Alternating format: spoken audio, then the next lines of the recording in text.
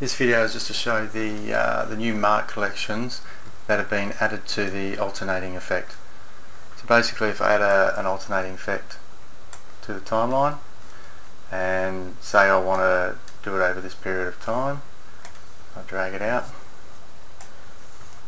Now as one effect you don't have much control over that. You can change the interval so at the moment every half a second it's going to alternate but that um, that doesn't really suit depending on where you want to actually change the uh, the point of alterations.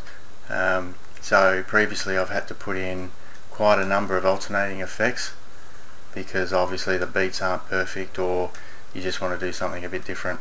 So at the moment that's the standard alternating effect so if I just hit play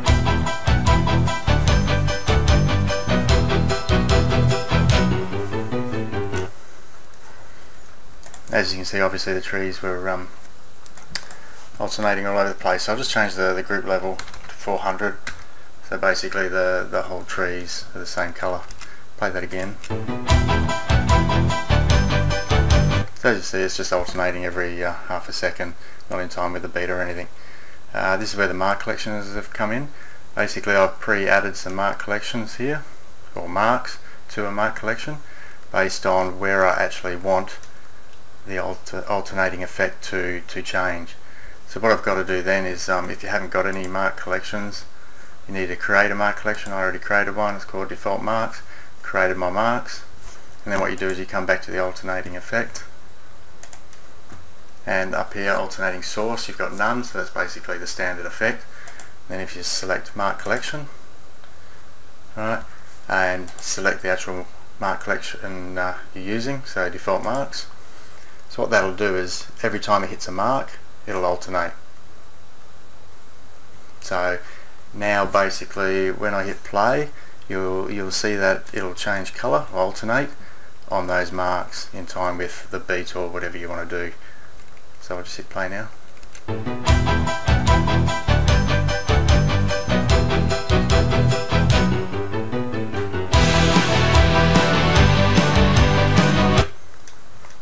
There you go, as you can see one effect now is um, makes it a lot easier to, to change the alternating where you want it. Um, basically obviously if you want to change it, start on that mark and end on that mark.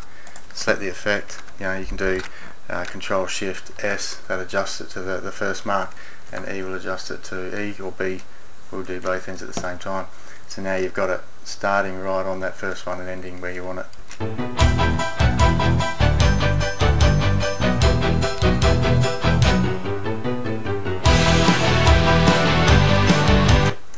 and that's the new mark collections within the alternating effect.